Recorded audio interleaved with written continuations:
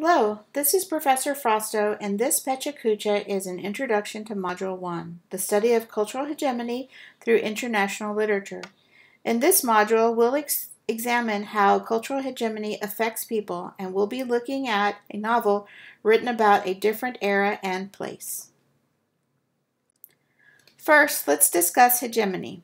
Hegemony is the dominance by a small group over a big group, or a minority having power over a majority. Take a look at these pictures. What do they tell you? How is this hegemony?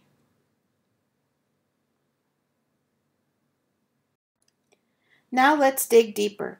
Hegemony is also the manufactured consent of the majority to go along with the minority, even when they are wrong.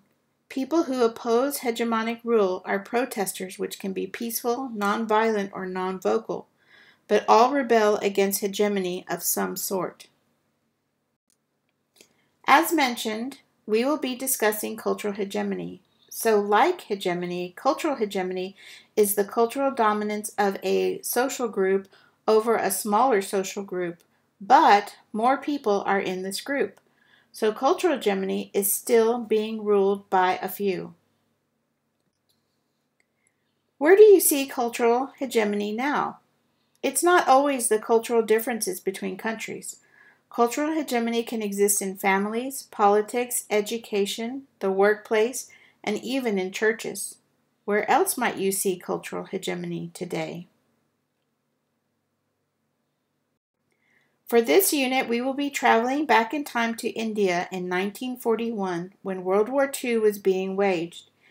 In this picture, you can observe how much larger India was in 1940 compared to its size now. Do you think that cultural hegemony could have been at play here? How so? In the 1940s, India was fighting two wars. The first was with the British, who were the ruling class. India wanted to be in control of its own country. The second was World War II, where Indians joined the British to, army to fight against Hitler and the Nazis and Japan. Education at this time was as one might expect. Girls and boys didn't attend school together. Education typically ended earlier for girls than boys. Boys were encouraged to go to college if their families could afford it, and this was considered prestigious. The reason why most girls ended their education early is because they were expected to marry young and start a family. However, few girls did go to college, and female students had difficulties being taken seriously. Is this a form of cultural hegemony?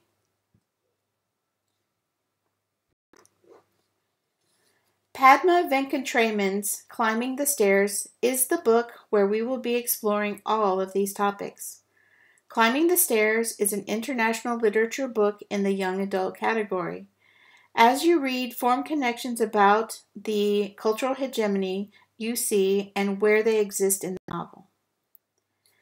The main character is a girl named Vidya. Something happens to Vidya's family and they are forced to live in her paternal grandfather's home. Segregation and abuse happens, but also in special places and relationships are formed. Remember to make cultural hegemonic connections. In this unit, students will blog to each other about the assigned chapters. Make sure you review the rubric and directions posted on Blackboard. Then students will write a journal entry to me about the chapters because I want to hear more about the connections you are forming. Additionally, every week, students will participate in a Harkness discussion. We will be watching a video that will explain more about these events later. You get to choose the topics you want to discuss from the assigned chapters, and through collaborative learning, you will have a better understanding of what cultural hegemony is. As a final project for this unit, our department requires you to write an essay that will give you an opportunity to demonstrate the knowledge you have gained in this unit. You will write a comparative analysis essay by picking two cultural hegemonic topics and show how they are similar. We will break down the writing process and begin with brainstorming through free writing and then use the best parts to create bubble maps where you can choose which comparisons of your ideas you want to explore and examine in essay form. Another part of the writing process is the creation of the seven major sentences. It is important to realize that the seven major sentences do not constitute a paragraph, but rather they are seven sentences spread throughout your essay. We will begin with a very rough draft of putting these ideas together in essay form. Then, because writing is recursive, you'll keep working with me to build better drafts. Some students may need to get additional help from tutors in the Learning Lab.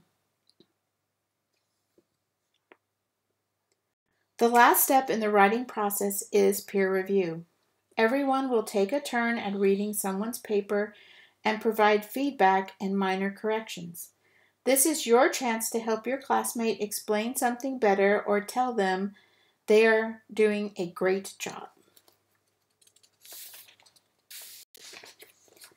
Lastly, you will consider all feedback and corrections. Fix what you think should be fixed and submit through the portal on Blackboard.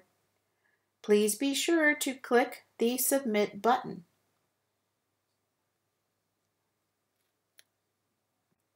Remember that this unit is a collaborative study on cultural hegemony through the use of international literature. I look forward to your blogs, journals, Harkness discussions, and essays. I hope you enjoyed this presentation. See you in class!